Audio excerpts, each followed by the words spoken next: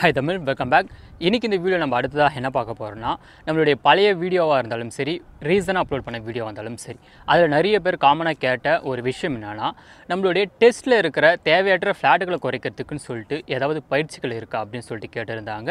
So அதை பற்றி தான் இன்றைக்கான இந்த வீடியோவில் நம்ம பார்க்க போகிறோம் அதுக்கு முன்னாடி டெஸ்ட்டில் இருக்கிற ஃப்ளாட்டை குறைக்கிறதுக்கான எக்ஸசைஸ் இருக்கா அப்படின்னு சொல்லிட்டு கேட்டிங்கன்னா அது கண்டிப்பாக இருக்குது ஒரு எக்ஸசைஸில் ரெண்டு எக்ஸசைஸில் நிறைய விதமான எக்ஸசைஸ் வந்து இருக்குது அதையும் தவிர்த்து நம்ம டெய்லியும் செய்யக்கூடிய டெஸ்ட் ஒர்க் அவுட் செஞ்சோம்னாலே நம்ம டெஸ்ட் பகுதியில் இருக்கிற ஃப்ளாட்டை வந்து பார்த்தீங்கன்னா ஈஸியாக வந்து குறைக்கவும் முடியும். இருந்தாலும் நம்ம டெய்லியும் செய்கிற டெஸ்ட் ஒர்க் அவுட்டில் வந்து நம்ம ஃப்ளாட் வந்து பார்த்தீங்கன்னா ரொம்ப ரொம்ப ஸ்லோவாக தான் குறையும். ஆனால் இதுக்குன்னு சொல்லிட்டு தனியாக ஒரு எக்ஸசைஸ் வந்து நம்ம செட் பண்ணி அதை சூஸ் பண்ணி நம்ம செய்கிறது மூலிமா நம்ம டெஸ்ட் பகுதியில் இருக்கிற ஃப்ளாட்டை வந்து பார்த்திங்கன்னா வேகமாகவும் அதே மாதிரி கூடிய சீக்கிரமாகவும் நம்மளாலையும் கரைக்க முடியும்.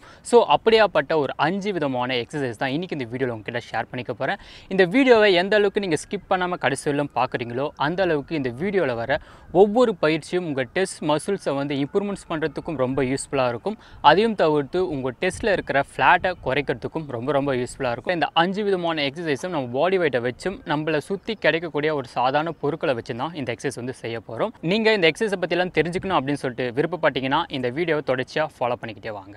ஓகே நம்ம ஃபஸ்ட்டு செய்ய போகிற எக்ஸசைஸ் வந்து டிப் பார்பல் எக்ஸசைஸ் அப்படின்னு சொல்லக்கூடிய ஒரு எக்ஸசைஸ் ஸோ நீங்கள் டெஸ்ட்டுக்குன்னு சொல்லிட்டு எந்த ஒரு எக்ஸசைஸ் எடுத்துக்கிட்டாலும் சரி நீங்கள் டெஸ்ட்டை வந்து பில்டு பண்ணணும். அப்படின்னா டெஸ்ட்டை வந்து பார்த்தீங்கன்னா நல்லா பல்க் பண்ணணும். டெஸ்ட்டில் இருக்கிற ஃபேட்டை ரிமூவ் பண்ணணும் அப்படின்னு சொல்லிட்டு நீங்கள் எந்த கேட்டகரியான பீப்புளாக இருந்தாலும் சரி நீங்கள் ஃபஸ்ட்டு ஃபஸ்ட்டு நீங்கள் டெஸ்ட் ஒர்க் அவுட்டுக்குன்னு சொல்லிட்டு நீங்கள் வந்து வந்தீங்கன்னா நீங்கள் செய்கிற ஃபஸ்ட்டு எக்ஸசைஸ் வந்து பார்த்தீங்கன்னா இந்த டபுள் பார்பல் ஒர்க் அவுட் அப்படின்னு சொல்லக்கூடிய இந்த ஒர்க் அவுட்டை வந்து எப்போவுமே ஃபஸ்ட் எக்ஸசைஸாக வச்சுங்க ஏன் இதை வந்து ஃபஸ்ட்டு எக்ஸசைஸாக வச்சுக்கிறோன்னா இந்த எக்ஸசைஸ் பொறுத்த வரைக்கும் அண்ட் டோட்டலாக நம்ம டெஸ்ட் மசில்ஸை வந்து பார்த்தீங்கன்னா நல்லா விரிவடைய வைக்கிறதுக்கும் நல்ல ஒரு டைட் மசில்ஸை வந்து எடுத்துகிட்டு வரதுக்கும் அதையும் தவிர்த்து தேவையற்ற ஃப்ளாட்டுகளை குறைக்கிறதுக்கும் இந்த எக்ஸசைஸ் ரொம்ப யூஸ்ஃபுல்லாக இருக்கும். ஸோ அதனால் இந்த எக்ஸசைஸ் வந்து பார்த்தீங்கன்னா அந்த ஃபஸ்ட்டு செஞ்சுக்கோங்க ஓகே ரெண்டாவது செய்ய போகிறது பார்த்தீங்கன்னா ஒயிட் கிரீப் புஷ்அப்ஸ் அப்படின்னு சொல்லக்கூடிய ஒரு புஷ்அப்ஸ் இருக்கும் ஸோ ஒயிட் கிரீப் புஷ்அப்ஸை பொறுத்த வரைக்கும் நம்ம டெஸ்ட்டை வந்து பார்த்தீங்கன்னா விரிவடை வைக்கிறதுக்கும் ஒரு பர்டிகுலரான ஒரு ஷேப்ஸை வந்து எடுத்துகிட்டு வரதுக்கும் இந்த ஒயிட் கிரீப் புஷ்அப்ஸ் வந்து அண்ட் யூஸ் பண்ணுவோம். இந்த ஒயிட் கிரீப் புஷ்அப்ஸை நம்ம செய்கிற வாசி என்ன ஒரு அட்வான்டேஜ்னால் நம்ம டெஸ்ட் மசில்ஸை வந்து பார்த்தீங்கன்னா நல்ல ஒரு விரிவடை வைக்கிறதுக்கு யூஸ்ஃபுல்லாக இருக்கும். ஸோ நீங்கள் எந்த அளவுக்கு வந்து ஒரு விரிவடை வைக்க வேண்டிய ஒரு ஒர்க் அவுட்டை நீங்கள் செய்கிறீங்களோ அந்த அளவுக்கு தேவையற்ற ஃப்ளாட்டுகளை வந்து பார்த்தீங்கன்னா நம்ம டெஸ்ட்லேருந்து பார்த்தீங்கன்னா அண்ட் ரிமூவ் பண்ண முடியும். ஸோ அதனால் இந்த பயிற்சியை வந்து பார்த்தீங்கன்னா நீங்கள் ரெண்டாவதாக எடுத்துக்கோங்க. உங்கள் டெஸ்ட்டில் இருக்கிற ஃப்ளாட்டை மட்டும் ரிமூவ் பண்ணுறதுக்கு மட்டும் இல்லாமல் உங்கள் டெஸ்ட்டே வந்து பார்த்தீங்கன்னா சூப்பராக இம்ப்ரூவ்மெண்ட்ஸ் பண்ணுறதுக்கு இந்த ஒயிட் கிரி புஷ்அப்ஸ் வந்து ரொம்ப ரொம்ப யூஸ்ஃபுல்லாக இருக்கும். அடுத்ததாக பார் புஷ்அப்ஸ் உங்ககிட்ட பார் இல்லை அப்படின்னு சொல்லிட்டு நினச்சிங்கன்னா அண்ட் ரொம்ப சிம்பிள் தான் ஒரு ட்ரிக்ஸ் ஒன்று இருக்குது செங்கல் பீஸ் இருக்குது பார்த்தீங்களா? ஒரு நாலு செங்கல் பீஸ் எடுத்துக்கோங்க.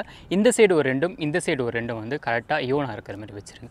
வச்சுட்டு நீங்கள் வந்து நார்மலாக எப்படி வந்து புஷ்அப்ஸ் ஒர்க் அவுட் செய்வீங்களோ ஸோ அதே மாதிரி வந்து பார்த்தீங்கன்னா இதில் செய்ய வேண்டியது இருக்கும். ஸோ நம்ம நார்மலாக செய்கிறதுக்கு செய்கிறதுக்கும் இதில் செய்கிறதுக்கும் என்ன ஒரு வித்தியாசம்னா நம்ம நார்மலாக செய்யும்போது ஒரு குறிப்பிட்ட அளவுக்கு தான் நம்மளுக்கு டெஸ்ட்டில் வந்து பார்த்தீங்கன்னா ஒர்க் அவுட்ஸ் கிடைக்கும். ஸோ அதாவது எப்படி சொல்ல போனால் நம்ம வந்து நார்மலாக செய்யும் போது நம்ம பாடியை வந்து கீழே எடுத்துகிட்டு போகும்போது அண்டு கிரவுண்டில் பட்டு அண்டு நம்மளோட டெஸ்ட் வந்து பார்த்தீங்கன்னா ஸ்டாப் ஆகிடும் அப்படியே மேலே வந்துடும் அதுவே வந்து இந்த பார்பல்லையோ இந்த செங்கல் இந்த மாதிரி அடுக்கி வச்சுட்டு நம்ம செய்கிறது மூலிமா நம்ம டெஸ்ட் மசில்ஸை வந்து பார்த்தீங்கன்னா இன்னும் கீழே எடுத்துகிட்டு போக முடியும். அதே மாதிரி நம்மளோட டெஸ்ட்டை வந்து பார்த்திங்கன்னா நல்ல விரிவடை வைக்கிறதுக்கும் இந்த எக்ஸசைஸ் ரொம்ப யூஸ்ஃபுல்லாக இருக்கும். அதையும் தவிர்த்து தேவையற்ற ஃப்ளாட்டுகள் நீங்கள் குறைக்கணும் அப்படின்னு நினச்சிங்கன்னா நீங்கள் ஒவ்வொரு எக்ஸசைஸும் எப்படி அதிகமாக இம்ப்ரூவ்மெண்ட்ஸ் பண்ணுறீங்க அப்படின்றதும் ரொம்ப ரொம்ப முக்கியம்.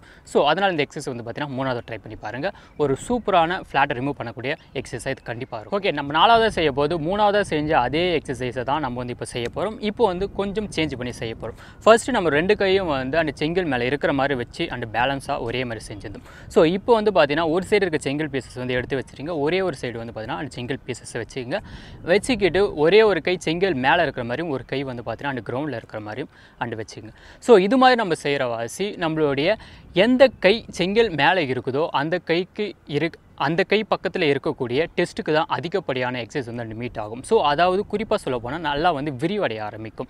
நம்மளுடைய மிடில் டெஸ்ட்டில் இருந்து நம்மளுடைய லோயர்லேருந்து நம்ம ஷோல்டர்லேருந்து ஜாயின் ஆகிற அந்த டெஸ்ட் மசில்ஸ் முதல் கொண்டு ஒரு சூப்பரான எக்ஸசைஸ் வந்து மீட் ஆகும்.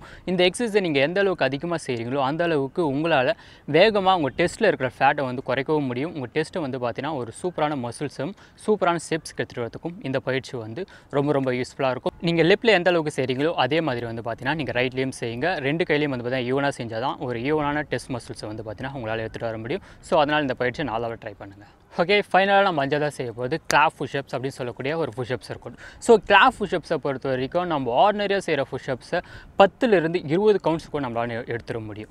ஆனால் இந்த கிளாப் புஷ்அப்ஸை பொறுத்த வரைக்கும் நீங்கள் ஒரு அஞ்சே அஞ்சு செஞ்சிங்கனாலே உங்கள் டெஸ்ட்டும் டைட் ஆகிடும் உங்களுடைய ஸ்டெமினாவும் வந்து பார்த்தீங்கன்னா அப்படியே வந்து ட்ரை ஆகிடும் ஸோ நீங்கள் அந்த இருபது புஷ்அப்ஸ் நீங்கள் எடுக்கிற அந்த இருபது புஷ்அப்ஸில் கிடைக்கிற அதே சேம் ரிசல்ட்ஸ் வந்து பார்த்தீங்கன்னா இது வெறும் அஞ்சே புஷ்அப்ஸில் வந்து கிடைச்சிரும். ஸோ நீங்கள் எந்த அளவுக்கு ஹார்டான எக்ஸசைஸை வந்து அண்ட் வெயிட் லாஸுக்குன்னு சொல்லி சூஸ் பண்ணுறீங்களோ அந்த அளவுக்கு உங்கள் வெயிட் லாஸை வந்து பார்த்தீங்கன்னா அண்ட் வேகமாக வந்து குறைக்க முடியும். ஸோ இன்றைக்கி பார்த்த இந்த அஞ்சு விதமான எக்ஸசைஸும் கண்டிப்பாக உங்கள் டெஸ்ட்டில் இருக்கிற ஃப்ளாட்டை குறைக்கக்கூடிய பெஸ்ட்டான ரொம்ப ரொம்ப சிம்பிளான பாடி வெயிட் எக்ஸசைஸ் அந்த கண்டிப்பாக இருக்கும். நீங்கள் விடாமல் நீங்கள் செஞ்சுக்கிட்டே இருங்க.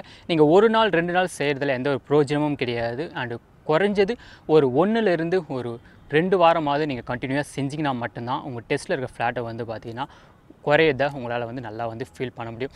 ஸோ இந்த வீடியோ பிடிச்சிருந்துச்சுன்னா மறக்காமல் இந்த வீடியோக்கு ஒரு லைக்ஸ் கொடுங்க. இன்னும் இந்த மாதிரியான பயிற்சிகள் பற்றி நீங்கள் தெரிஞ்சுக்கணும். அப்படின்னு சொல்லிட்டு விருப்பப்பட்டீங்கன்னா நம்ம சேனல் அண்ட் இப்போயே சப்ஸ்கிரைப் பண்ணிக்கிட்டு அந்த பக்கத்துக்கு அந்த பெல் ஐக்கனை கிளிக் பண்ணிவிட்டு ஹால்னு செட் பண்ணி வச்சுங்க. அப்போ தான் நம்ம போடுற ஒவ்வொரு வீடியோவும் உங்களுக்கு நோட்டிஃபிகேஷனாக வரும். நீங்களும் மிஸ் பண்ணாமல் பார்க்க முடியும். இந்த வீடியோவை தொடர்ந்து அடுத்த வர வீடியோவில் அந்த டம்பிள்ஸை வச்சு நம்மளோட டெஸ்ட்டில் இருக்கிற ஃபேட்டை எப்படி ரிமூவ் பண்ணுறது அப்படின்னு சொல்லிட்டு உங்களுக்கு நான் ஷேர் பண்ணிக்கிறேன். ஓகே தேங்க்யூ ஃபார் வாட்சிங் நெக்ஸ்ட் வீடியோ நெக்ஸ்ட் ஒரு பை பை